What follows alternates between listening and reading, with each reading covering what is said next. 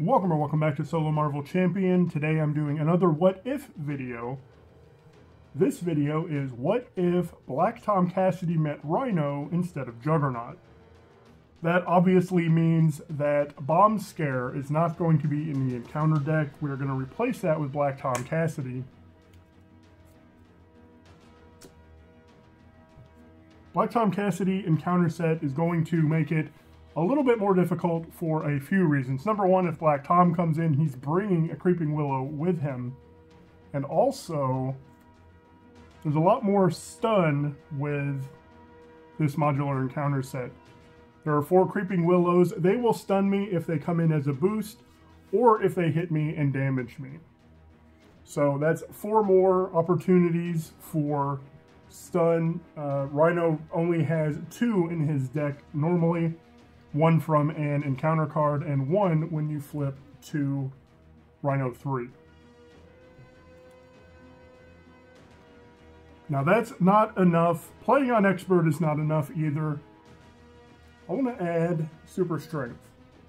Super Strength not only gives him plus one attack, meaning he's attacking for four on stage two and five on stage three, it also gives him steady, and Miles Morales definitely depends on Confuse and Stun to beat him easily. I say all this because I'm setting up tomorrow's video, which is Miles Morales Protection against Expert Rhino with Black Tom Cassidy. Now these are the rest of the cards from Super Strength. You don't have to shuffle them in. We're already plus one card in the encounter deck with Black Tom Cassidy.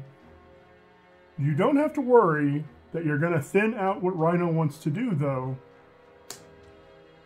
because Super Strength does the same things Rhino wants to do anyway, because that thrown object is just another copy of Charge.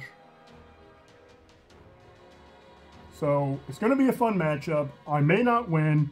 I probably will. Even on expert, Rhino's pretty tough. And uh, Miles Morales has so much um, stun and confuse that I think he's going to be able to get them through, even though he's steady.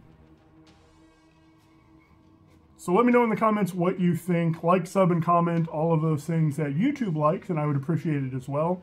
Thank you so much for watching, and I hope you have a great day.